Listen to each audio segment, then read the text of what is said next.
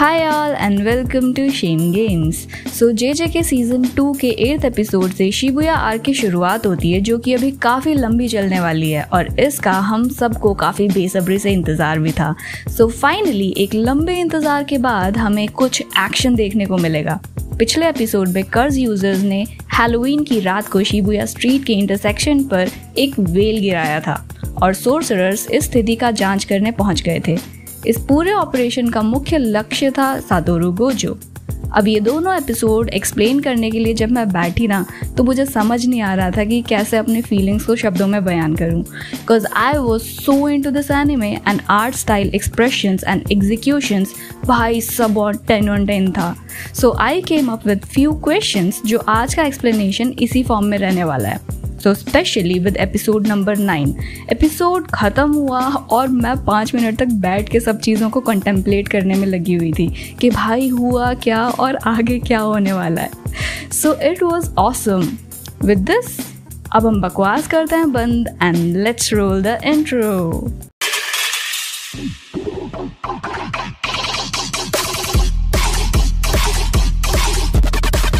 so so, यहाँ पर बहुत लंबे गैप के बाद हम यूजी ईटाडोरी को फॉर्म में देखते हैं। वो मे में और उसके छोटे भाई उई के साथ मिशन पर आया था जहाँ एक और वेल गिराया गया था शिबुया मेट्रो स्टेशन में।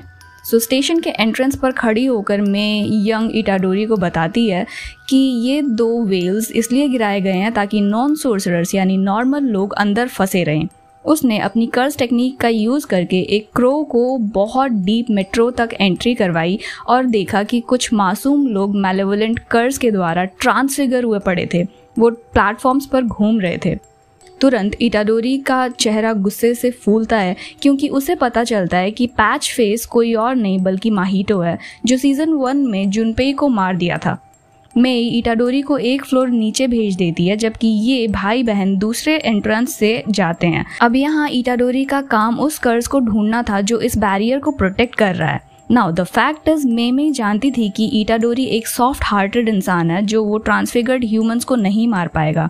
लेकिन वो अपना फ्रस्ट्रेशन एक रैंडम कर्ज पर बराबर निकाल सकता है।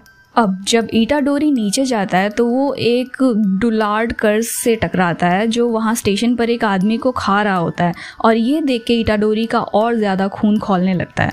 सालों बाद फाइनली हम ईटा डोरी को एक्शन में देखते हैं, और वो इस कर्ज ग्रास होपर के साथ में वन ऑन वन फाइट करता है। अब ईटाडोरी की आँखों में कर्ज के लिए नफरत साफ़ देख पाते हैं। As we know he hates curse because they kill innocent humans तो ईटाडोरी अपने पंचेस से ही इस कर्ज स्पिरिट को मार गिराता है। इतनी सारी पावर और कर्ज का ऐसा हाल देख के मे, में भी चौंक जाती है कि ईटाडोरी कितना ज़्यादा पावरफुल है। वहीं दूसरी तरफ़ वीसी गोजो प्लेटफॉर्म पर जाता है, जहाँ उसकी मुलाकात दो पुराने एनिमीज से होती है, जिन्हें वो पहले ही धूल चटा चुका है जोगो और हानामी लेकिन इस बार इन दोनों के साथ एक और चीज़ थी, जिसका नाम था चोसो सो so, ये लोग गोजो से फाइट लेते हैं। भाई द वे ये सब कुछ पहले से ही प्लान करके आए थे with the help of Gojo's old friend Suguru Geto जिस वजह से गोजो की कमियाँ इनको पहले ही पता थी और इन्होंने बहुत सारे ना प्लानिंग करके रखी हुई थी। So he told them that Gojo is strongest when he is alone so इन लोगों का प्लान करा था कि ट्रेन स्टेशन को आम लोगों से भर दिया जाएगा और लोगों को काटते हुए गोजो के पास ये लोग आ रहे होते थे। सो बट यहाँ पे ना वी सी गोजो वॉज़ काम वो बहुत ही स्ट्रैटेजिकली प्ले कर रहा था। Maybe because Gojo knew कि इस फाइट में थोड़ी कैजुअलिटीज़ तो उसको बेयर करनी ही पड़ेंगी। और मेन फोकस उसका इन एनिमीज को मारने पर था ताकि कम से कम आम लोगों को सेक्रीफाइस करके वो बाकी लोगों को बचा सके।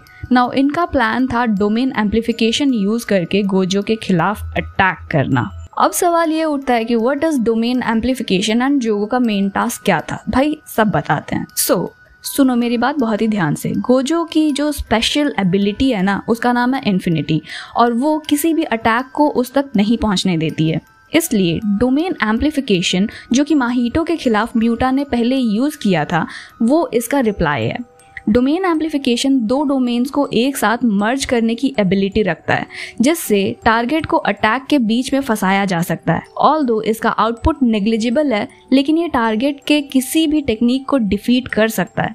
एक पल के अंदर पूरी योजना को समझते हुए गोजो अपनी जगह बदलता है and he has to watch while Gojo mercilessly kills other humans just to show what he can but ये सब देख के गोजो अपना ब्लाइंड फोल उतारता है and gets ready with the fight now here we see कि जोगो अपना प्लान याद करता है, जिसमें गेटो ने उसे कहा था कि उसको गोजो के साथ 20 मिनट तक फाइट लेनी है। साथ ही ज़्यादा से ज़्यादा इंसानों को उसमें ट्रैप रखना है सो दैट गोजो अपना डोमेन एक्सपेंशन ना कर पाए। क्योंकि आम ह्यूमंस वलनरेबल होते हैं, और गोजो ये रिस्क कभी नहीं लेना चाहेगा। बिकॉज़ गोजो कुछ सेक्रीफाइसेस के लिए तो मान सकता है बट जब बहुत बड़ा सेक्रीफाइस आ जाएगा तो Gojo is not going to do that और इसी के साथ ही एपिसोड एट यहाँ पे ख़त्म होता है। सो एपिसोड नाइन शुरू होता है showing all the loved ones of Gojo speaking about Gojo कोई उसको स्टूपट बोलता है, कोई कुछ कोई कुछ, और कोई कुछ और. बट एंड में यूजी आता है who says sensei is the strongest and that hit so hard man इस सीन के जस्ट बाद एपिसोड कंटिन्यू करता है एंड वी सी गो जो रेलवे ट्रैक पर आता है एंड जोगो और हानामी उस पर अटैक करते हैं. बट डैंग डूड गोजो तो अपने कर्ज पावर यूज़ भी नहीं कर रहा होता. बस अपनी फ़िज़िकल स्ट्रेंथ और मार्शल आर्ट का यूज़ करके वो इन दोनों को इधर उधर फेंकता रहता है. बट जैसे ही हानामी गोजो के इन्फिनाइटी बैरियर को ब्रेक करने की कोशिश करता है ना वी सी गोजो बड़े ही बेरहमी से अपना पावर इंक्रीज करता हुआ हानामी को दीवार पर क्रश कर देता है। And this is the end of Hanami. We see Jogo mourning for हानामी और इस पॉइंट पर हमें गोजो के अंदर का पागलपन भी दिखाई देता है। ये इतना बढ़िया सीन था ना, जहाँ हम एक पल के लिए ये भूल जाते हैं कि इनमें हीरो कौन है और विलन कौन। गोजो के अंदर से फुल विलनस वाली वाइब्स आती है। Now at this point Jogo and Choso the death painting curse एक डेस्परेट अटेम्प्ट करते हैं हानामी के डेथ का बदला लेने के लिए। गोजो पर अटैक करते हैं, लोगों को मारते हुए गोजो पर अटैक करने की कोशिश करते हैं ये लोग।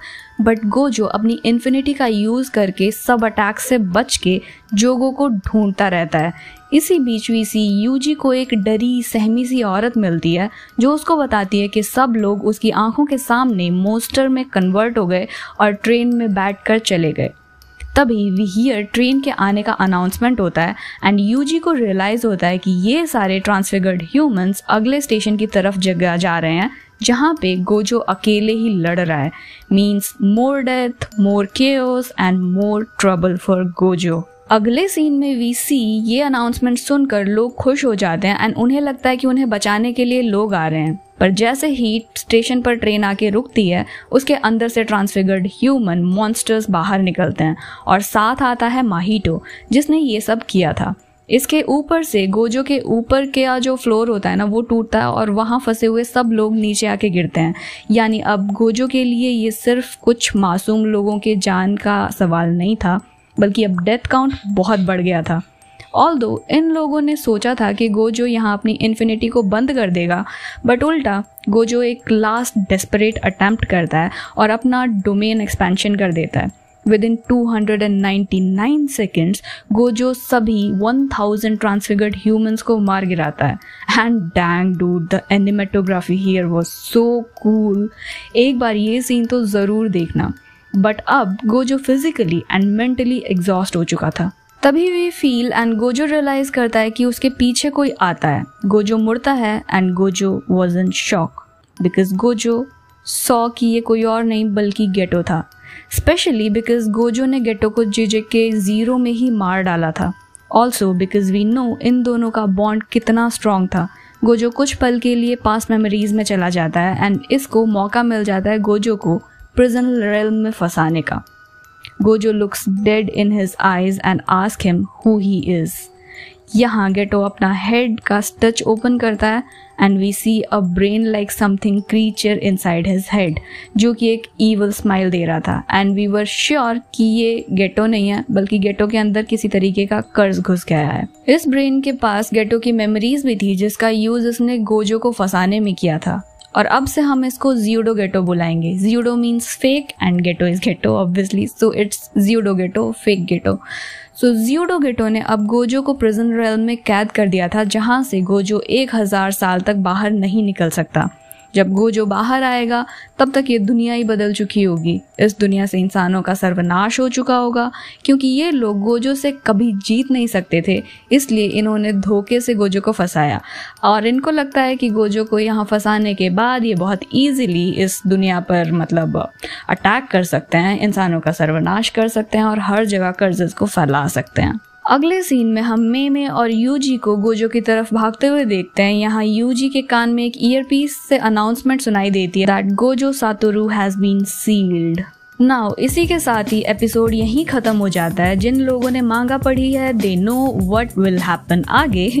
बाकियों के लिए मैं बस इतना ही कहूँगी दैट डोंट वरी गो जो हज़ार साल तक नहीं रहने वाला है वहाँ। बट हाँ आगे आने वाले एपिसोड्स में बहुत कुछ होने वाला है। सो so, अगर अब तक आपने चैनल को सब्सक्राइब नहीं किया है तो सबसे पहली चीज़ ना वो करो क्योंकि सभी अपडेट्स एंड एक्सप्लेन वीडियोस आपको एवरी वीक हमारे इस चैनल पर मिलने वाली हैं। सो विद दिस अब हम मिलेंगे इन माई नेक्स्ट एपिसोड तब तक के लिए बाय